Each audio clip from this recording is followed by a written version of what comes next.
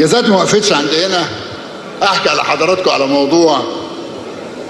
وهو لما السيد الرئيس عبد الفتاح السيسي اتكلم على فيروس سي. أنا فاكر كويس قوي اتقال ده بيحلم. أنا آسف إني بقول لفظ زي ده. بس الحلم بقى حقيقه مصر قضت على كل مرضى فيروس سي أو كل الناس اللي عندها قائمة انتظار في فيروس سي. أو يمكن أقدر أقول إحنا البلد الوحيده اللي في العالم اللي ما عندهاش قائمة انتظار لفيروس سي. إحنا أصبحنا دولة بنصدر الدواء للعالم كله. إحنا أصبحنا دولة جاذبة للاستثمار في المجال ده. ومعانا الإخوة الأفاضل اللي قاموا بالمشروع ده. ده كله بقرار جريء واحد اتاخد لما الرئيس عبد الفتاح السيسي أمر إن كل الأدوية تتسجل فورا وتزيل كل المعوقات. يبقى الحلم ممكن يبقى حقيقة. عندنا مشروع مليون ونص فدان ولسه في مشروعات أخرى مكملة في عملية الزراعة. نقدر نجهل إن مصر كان عندها الدلتا 8 مليون فدان ويمكن تقلصت حتى الآن. مع إنه خمسة فندم ولا ستة؟ ستة. ولسه جاري إنها تقل. ما ينفعش إن شعب مصر يزيد. وما بقاش نظر له إن أنا أبص لمستقبل زراعي أفضل له.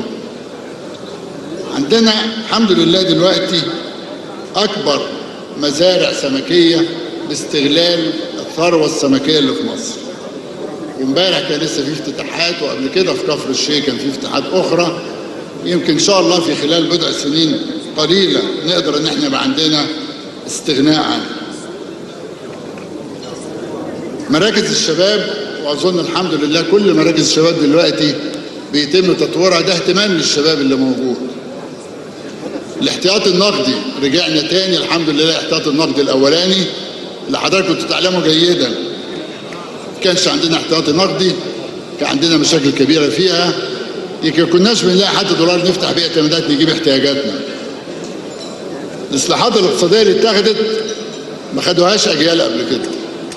عملية التعويم اللي ممكن ناس تقول دي كانت مشكلة.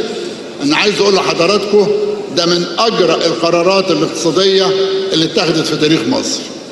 يمكن بنعاني بس هو كان استحالة كنا هنكمل من غير ما تتاخد القرارات الجريئة حتى لو جت على بنقول حسابنا أو جت على شعبيتنا لكن هي دي الأمانة في القرارات اللي إحنا لازم ناخدها. كان لازم مع المشروعات دي إن إحنا نعمل نفس الطفرة التشريعية. ده دورنا كمجلس نواب الحمد لله في الفترة اللي فاتت مسؤولية حاملها الائتلاف تحت قبه البرلمان انتهينا من حزمة من قوانين التشريعات المهمة والملحه قانون الاستثمار وأظن حضراتكم الحمد لله يمكن شاركتوا فيه واتعمل جلسات كثيرة لحد ما صدر قانون الاستثمار.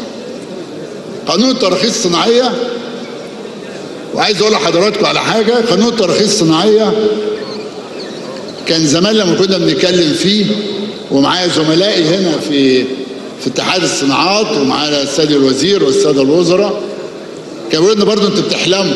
قلنا لهم ماشي نحلم. نكمل يعني طالما بنتكلم صح نحلم. طالما بنتكلم بمنطق نحلم. كنا بنطلع الرخصة في 600 يوم دلوقتي في أسبوع وباختار بدون عزيمة. وأنا عايز أقول لحضراتكم القانون ده صدر لأن في أحد اللقاءات برضه مع السيد الرئيس أمر إن القانون ده يخلص. وهي دي العزيمة في الإرادة السياسية إن يبقى عندنا فعلا عزيمة إن الدولة تعدي بأمان. عزيمة إن القرارات الإصلاحية الجاده تخلص.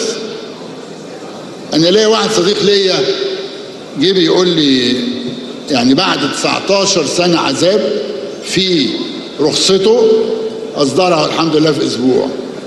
حضرتك شاهد عليها. هيئة سلامة الغذاء دي كانت موقفة من سنة 2005 كانش فيه القرار الجريء اللي ياخد بيها بإصدار. الحمد لله المجلس والفترة الحالية هو اللي خد. قانون الخدمة المدنية وده إن شاء الله أطاره هتظهر في الفترة القادمة. برامج الحماية الاجتماعية اتعملت والحمد لله بتزيد ولسه هتزيد. بس هنتكلم هي دي طبعا معمولة لمكافحة الغلاء. اللي إحنا عارفين إن ما زال في غلاء وشاعرين بالمواطن لكن مكملين مكملين على أساس صح لأن مكملين وإحنا بنصلح اقتصاديا. مش مكملين وأنا عارف إن عندي عوار لسه مش هخلص منه. الشعب المصري المصري مش هيستحمل عملية إصلاح تانية لأن إحنا مقدرين جدا اللي هو فيه.